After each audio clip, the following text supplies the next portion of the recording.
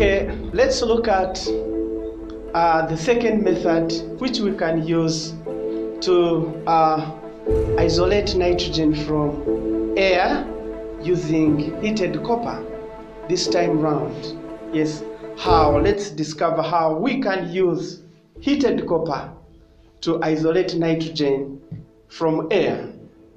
Okay, let's discover the apparatus that we need to use during this process. The apparatus that we need to use during this process, the apparatus to be used, uh, the apparatus to be used during this process, we need two wash bottles. We need two wash bottles. Uh, we need delivery tubes. We need delivery tubes.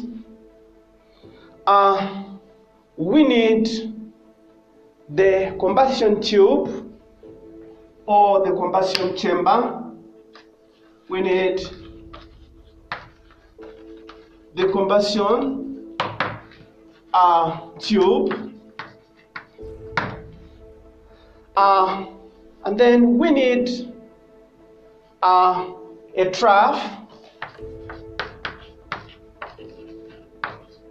And then finally, we need a gas jar. Then let's look at the uh, reagents or the chemicals that we need, or let's look at the reagents we need during this uh, experiment, during this process. Uh, the chemical, let's look at the chemical materials needed.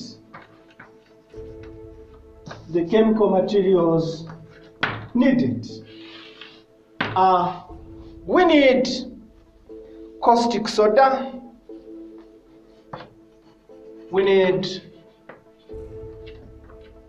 caustic soda. We need